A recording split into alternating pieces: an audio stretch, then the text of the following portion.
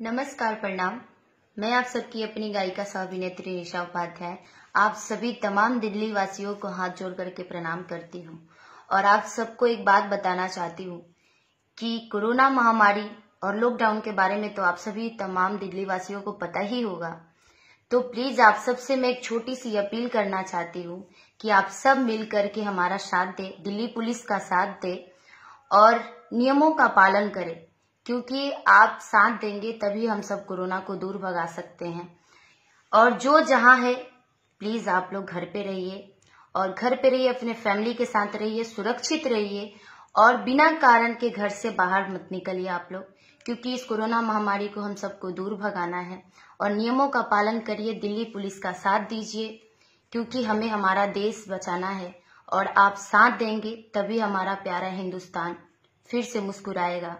और आप सबका साथ चाहिए। जय हिंद जय भारत।